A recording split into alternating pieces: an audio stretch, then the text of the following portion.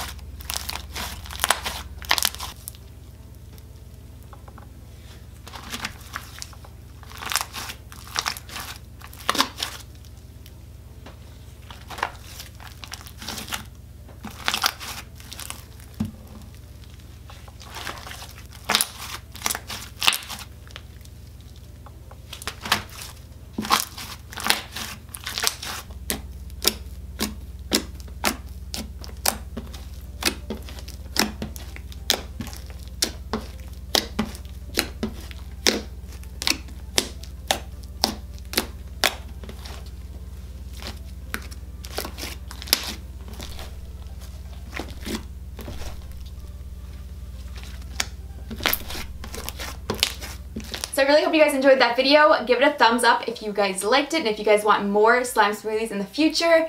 And that's basically it. I really, really hope you guys enjoyed it. It was so much fun to make. I love freaking slime. So that's basically it. I really hope you guys enjoyed this video. And if you guys want to see like behind the scenes and like just my life, guys should totally check out my Instagram because I do a lot of behind the scenes on my Instagram stories and I do polls on there so you guys can like vote for different video ideas and it's just a fun time. So that's Keep Calm and Blush On and that's down below. I love you guys so, so much and I will see you guys in my next video. Peace.